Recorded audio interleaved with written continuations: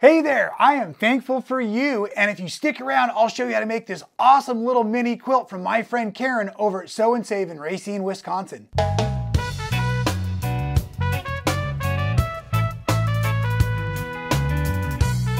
Oh, I do just absolutely love to collaborate with my friends. So again, Karin over at Sew and Save in Racine, Wisconsin, thank you so very much for allowing me to play with another one of your super fun mini quilts using the Michael Miller Basics. If you're brand new to making it fun, everybody, I am Rob Appell from Michael Miller Fabrics. Welcome, welcome, welcome. I am so excited you're here. And I love to teach quilting and all kinds of other sewing and do silly stuff as well with these cameras. And today's project is another mini quilt like we did before. Now this was the window heart quilt and this was started at the beginning of our um, lockdown for COVID. We were putting these in our windows just to say thank you. We really appreciate all of you essential workers out there.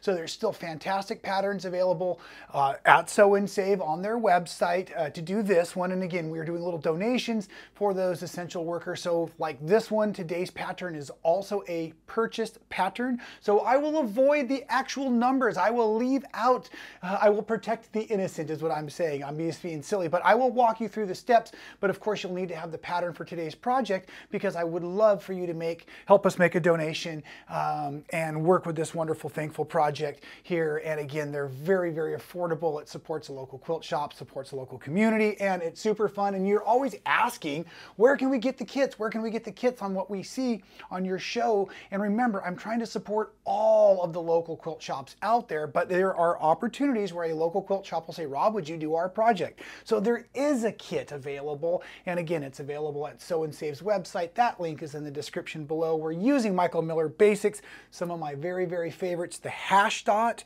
And so we've got clementine and papaya and mustard and gold. We've got a little bit of our linen colored marble. We've got our bright white cotton couture, our onyx marble. We've got the uh, ebony. Oh, I got it right. Oh, of the hash dot as well. Now this is an amazing new texture. I am excited about this. This is brand new. This is cocoa. This is fantastic. It looks like a tweed. And on our applique in today's project, we're going to use just a little bit of our pistachio color and our tangerine color. So this was really fun. This just got in the shops when Karin was starting to put together the kits for the samples and stuff. So we're going to have a bunch of fun. I'm going to show you how to do the patchwork starting now. This is basically where we're going for our background with my color choices using, like I said, those Michael Miller basics. So if you look real carefully, you're kind of seeing like a square and a square and a square if you look at the oranges you're seeing in the background. So we're going to focus on those orange patchwork blocks first and build that out and then get into the applique. So with my oranges, I'm going to need two of each rectangles. Okay. And of my lighter two oranges, my rectangles are more narrow, giving some clues, more narrow than my darker two rectangles.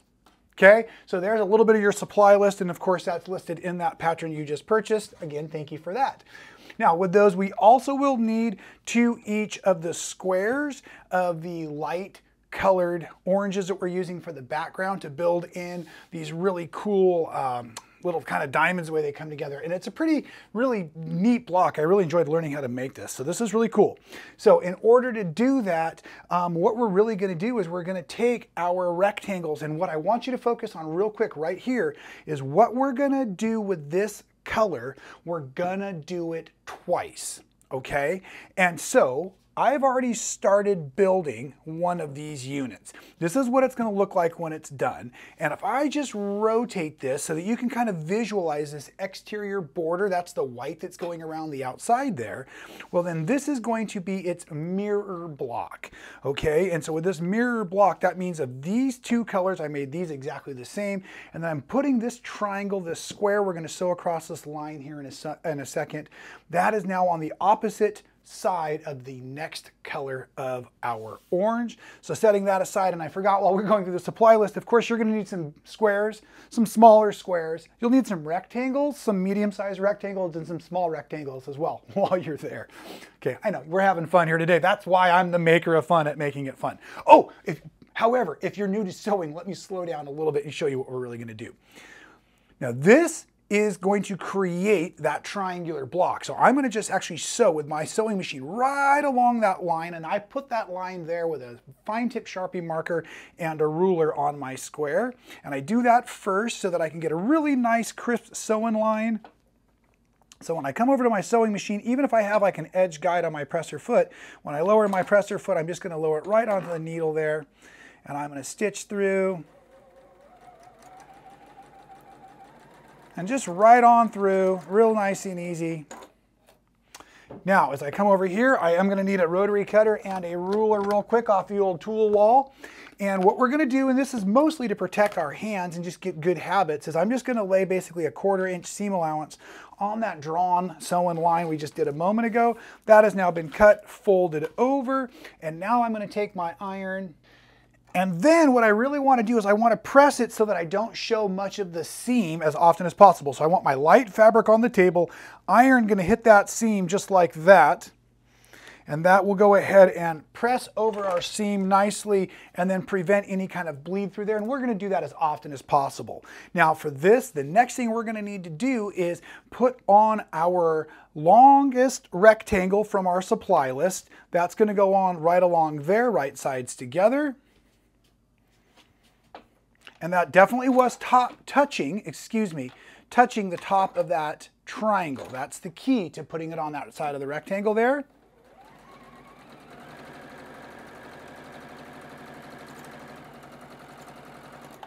And again, pressing to uh, hide or pressing to the dark side, laying my white fabric or my light fabric on the table, pressing over. And now that this portion is completed. Now, just show you again real quick, here is the finished unit we're building. And so I have the um, long rectangle. Now we're gonna put the medium rectangle opposite where our triangle is. So that's real simple. I just grab that there. I'm gonna take this, lay it there right sides together. If you wanted to trim a little bit, you could. But again, we don't have to be too absolute on this section yet because it's all gonna line up so nice here in a moment.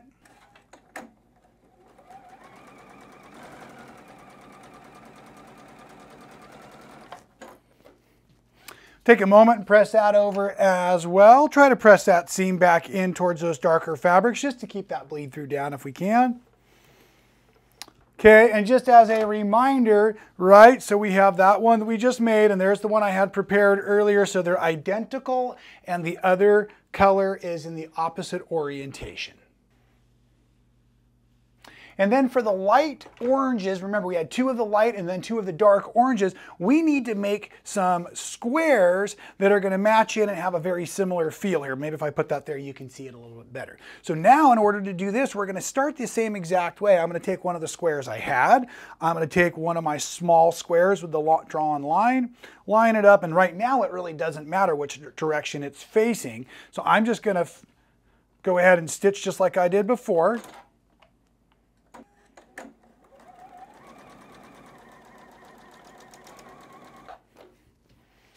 And like before, we're going to trim it before we press it. Using our ruler to keep our hands safe.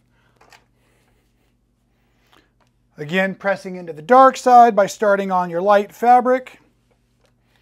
And now at this moment, you can really rotate this to fit in any way. But what I need you to do is make two of them that are exactly the same again.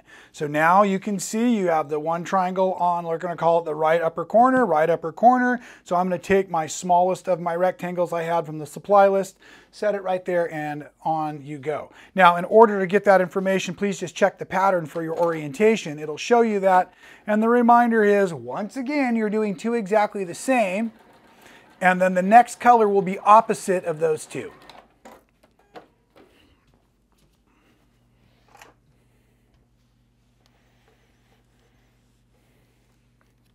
And as these are all complete, we basically have built the parts necessary for those lighter corners. Now let's do the darker corners, and they're actually going to be centers, really, when we get back down to putting it all together. Here, let's keep ourselves organized, though, for a little bit longer, if at all possible.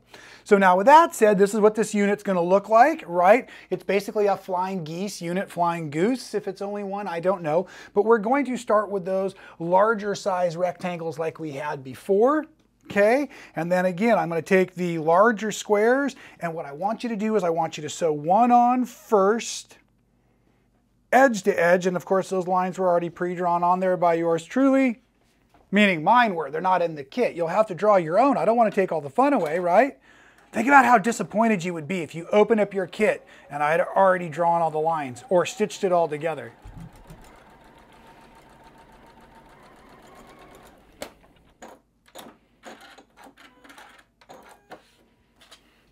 And the key to this kind of a block unit is to make sure, again, we're gonna go ahead and trim these off, and depending on how small a quilts you like to make, this is getting into the almost savable size. So you may wanna save that for future use. I'm just gonna kind of slide it away there and decide later. But right now, I'm gonna do the same trick I did earlier, and I'm just gonna go ahead and Oh, actually, I'm not, that's not true. Right now, to make life easier, is I'm gonna press from the rectangle into the square. So technically breaking all of our wonderful quilting rules, pressing now into the lighter fabric, but things sometimes just happen this way. They just really do. Because what I want to do is make life easy so when we make this next triangle, that seam is now out of my way. And in order to do that, I just want you to double check that when you drop your second square, into your position that you now are basically forming a triangle. So you follow this line up, look at this line coming back down. There's your triangle, super simple. And again, an easy seam allowance. We'll put that in place.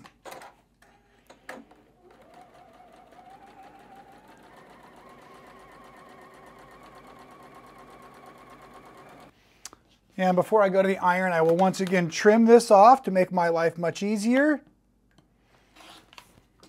Setting that aside. And a quick reminder, because we're working with a square project today, you're actually going to need two each of these. So remember, because I used four oranges, I created two from each of those colors as well. And that was pretty dang easy if you ask me. Now the next thing we're gonna do is let's go ahead and take this and build this all out together. But I'm gonna set this on the design wall for a moment just to keep it up and out of our way. Now, the center features a square, and I would like to go ahead and just take a moment because I've had it laying about and just go ahead and press it out. Now, this is a really cool fabric. It's our marble fabric, and this linen color, you can almost not tell which side the print it is. It's a wonderful, just very light mottling. So just double check real quick what you're looking at. Make sure you've got it dialed in to the way you want it. And now we're gonna go ahead and put on our interior borders first before we put on the rest of our blocks. So in order to do that, we have our little strips that we've already cut of our ebony hash dot. I want you to fold these right sides out. So you're looking at the print, you're gonna fold them in half, long and skinny,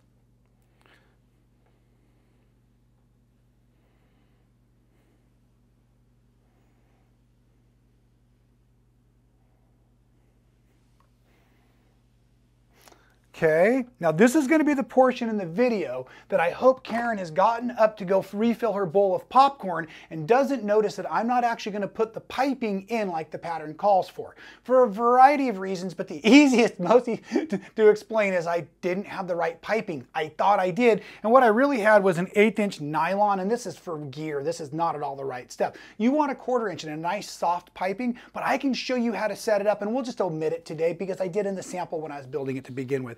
Either way, your project is going to be super cute because this is just going to add dimension later on. So if you want to add in your piping, what I want you to do is now that you've pressed this right sides out, I want you to just kind of slightly open it back up. You'll be setting your piping in like yay. And then you're going to go ahead and set this right sides together facing interior, raw edges on the exterior, right?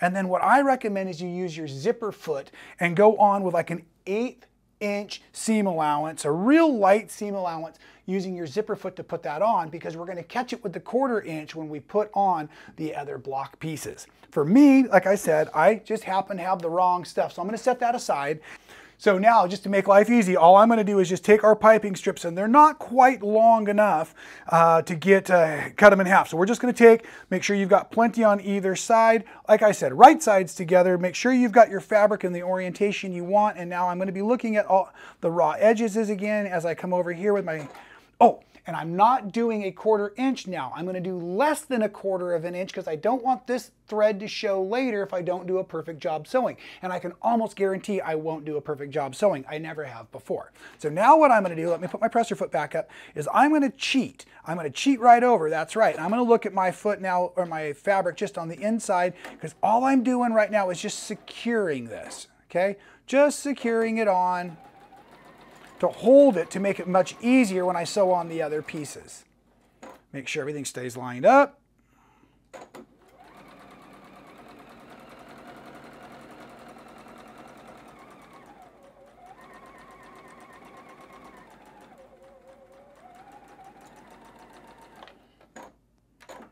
And actually, not only did I put on one, but I put on the other opposite side while you weren't looking as well. Sometimes that's just easier.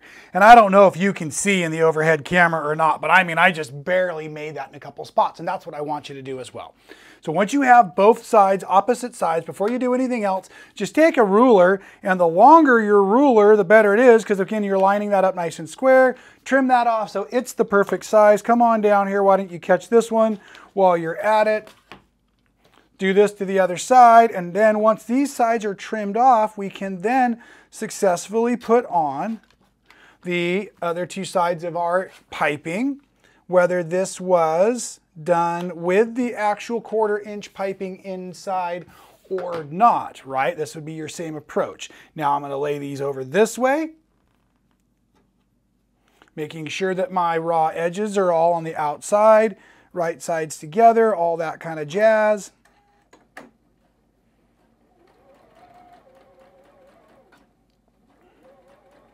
And again, just less than a quarter inches, we're putting that on there.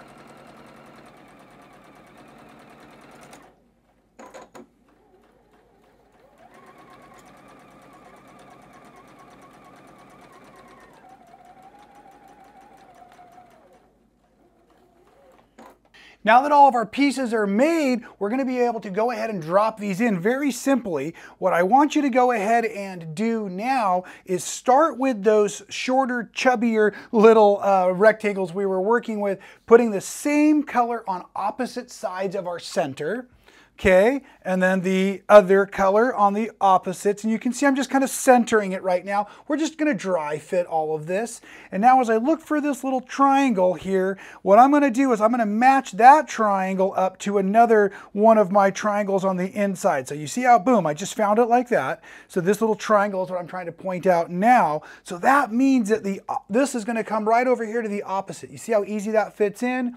And then let's go ahead and do um, so you'll have these longer runs, okay? These will be the secondary pieces we put on, and then we'll put on our short runs.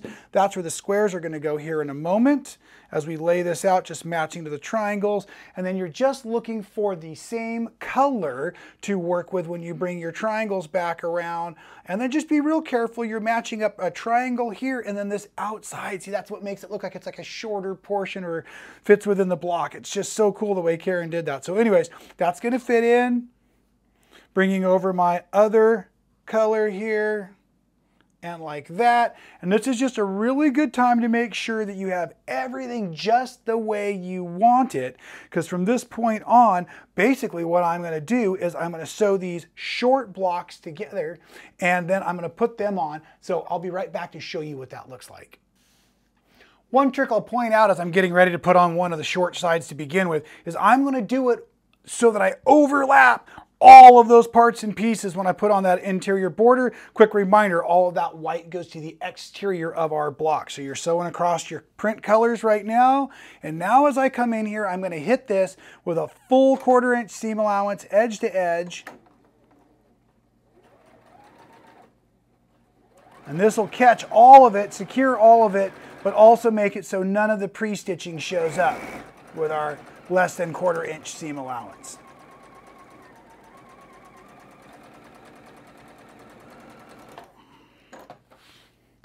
Quick reminder, if you have the piping in here, you are doing that with a zipper foot where you now see me doing it with a quarter inch foot.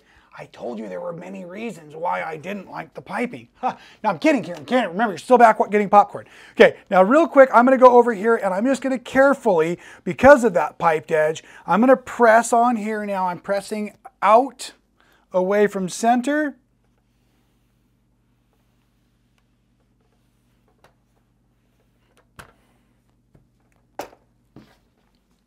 As I get ready to drop the long sides in, I just want to do some color matching, make sure everybody's just where they belong. And then once again, I'm going to line them all up, utilizing all of these little seam allowances now as my little checkpoint as I go through. Again, either a quarter inch seam allowance or a zipper foot so that you can secure all of that piping if you chose to in there.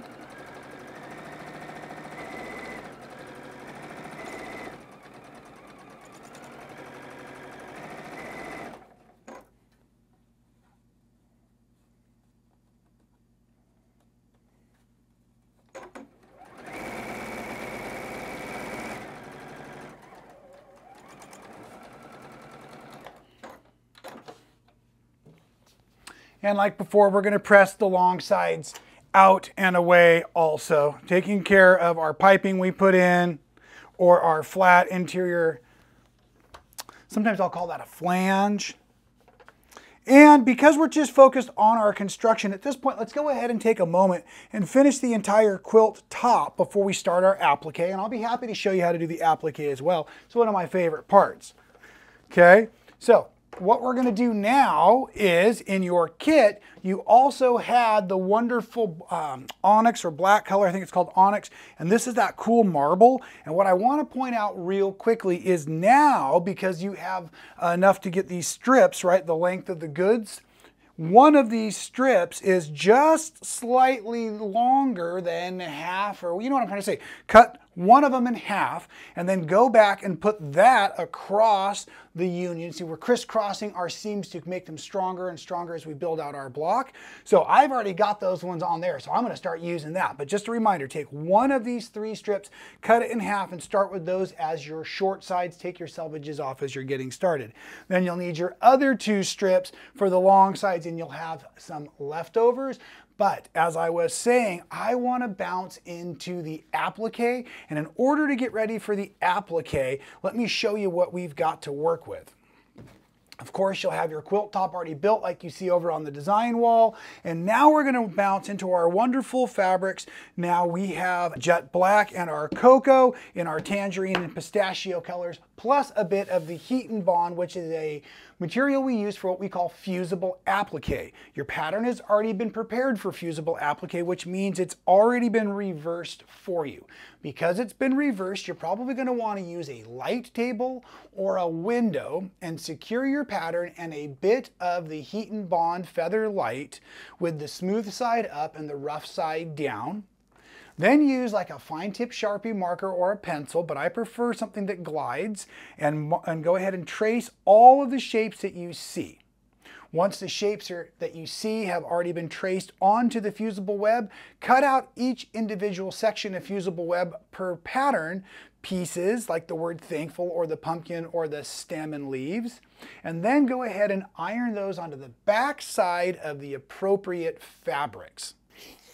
And as you can see here, I've got that already finished up now. And there's a couple of different ways that you can cut these appliques. And if you don't know, I'm the cool inventor of the Shark Applicutter. This is a 14 millimeter, very tiny freestyle rotary cutter for this kind of work. And on this pumpkin, it's perfect for this reason. I want you to hold it like a pen. And I'm gonna get in here and I'm just gonna go ahead and I'm actually kind of moving the fabric and the tool as I go. And I can either trace around the outside of all of this pumpkin to begin with, which is really easy.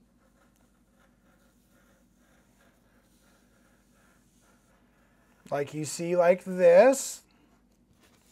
Okay, and now I also put the pieces all the way on and I didn't trim right on the edge earlier because I want to trim now right on the edge because that way when I cut this out, I have the Heat and Bond also on the edge all the way to the very edge of my fabric piece. And that's what helps it act like a fray block or fray check from way back when.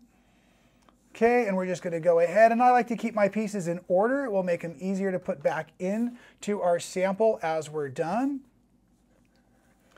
And you can see how nice something like the Shark Rotary Cutter works for this basic geometric shape freestyle cutting.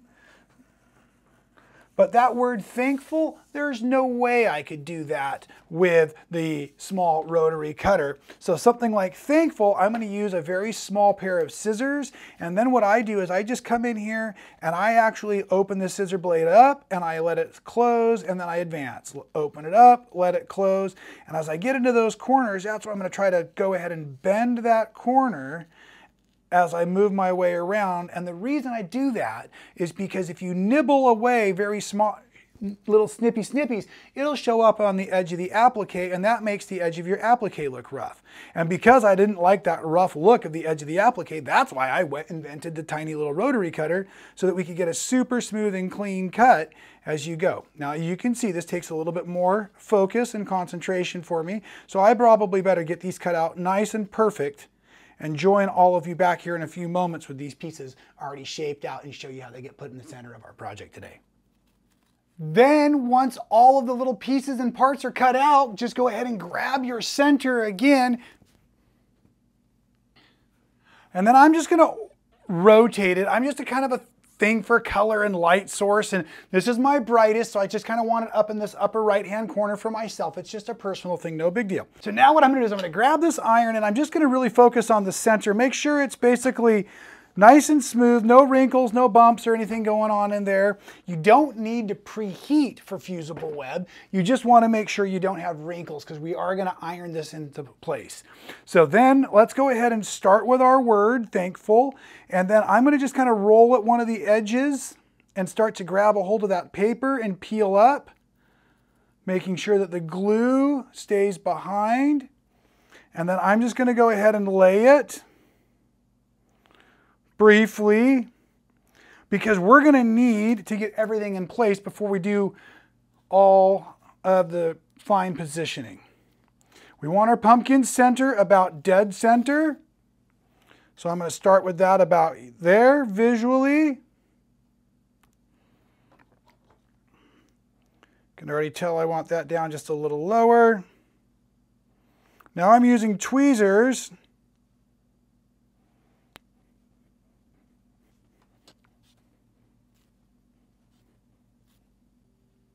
Oops, I was doing that backwards. And then as far as your gap goes, depending on how you intend to finish this, you may want to leave a little bit larger or a little bit narrower gap, meaning that if you were going to blanket stitch this, you probably want to have a little bit larger distance between your shapes so that you're not putting a bunch of thread on top of thread as you go there. And then for me, I'm gonna actually finish this all out with some free motion machine quilting, just doing that right along the edge to secure all of my different little pieces. Also sometimes like to use a stiletto when doing my layout like this. That was pretty handy too. I do keep the stiletto handy in case I ever can't get an edge to lift. Then I can sneak in there on that and just go ahead and peel it right up as well as it is nice for moving pieces and parts around like that. And then for the character,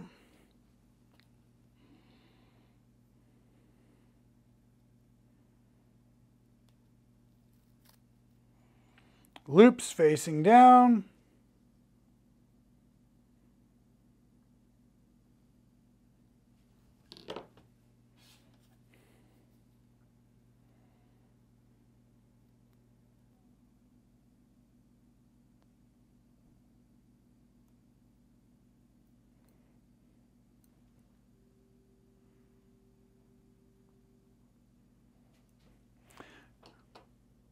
Take a couple looks, make sure you have it exactly the way you want it.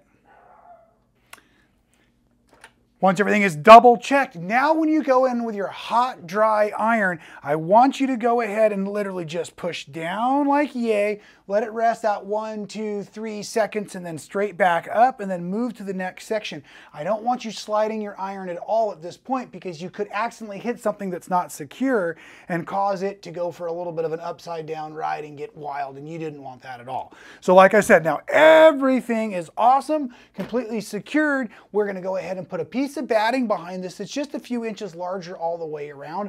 I'm gonna use that wonderful cocoa pistachio color on the back as well.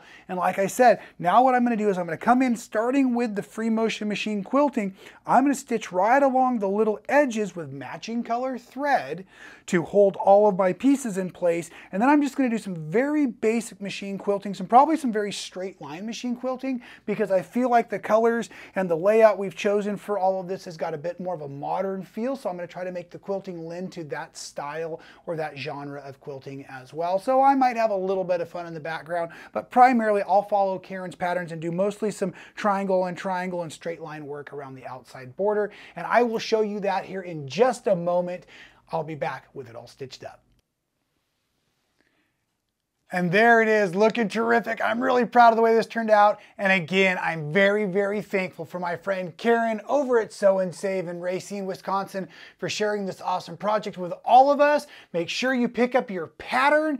Make sure you visit Karin's website for the kit. And we will see you all very, very soon right here with another episode of Making It Fun.